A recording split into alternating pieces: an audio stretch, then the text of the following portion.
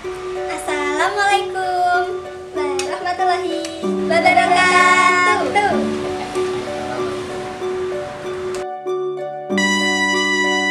Halo semuanya, sekarang Sorot udah berusia 6 tahun loh Dan kali ini saya akan menampilkan ucapan-ucapan dari warga Gunung Kidul untuk Sorot Ini dia videonya Sugeng ambal warsa kagem sorot ingkang kaping 6.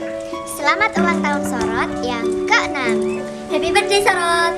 Selamat hari jadi Sorot yang ke-6. Saya ingin juga Hamida Sorot, selamat ulang tahun. Semoga Sorot makin sukses.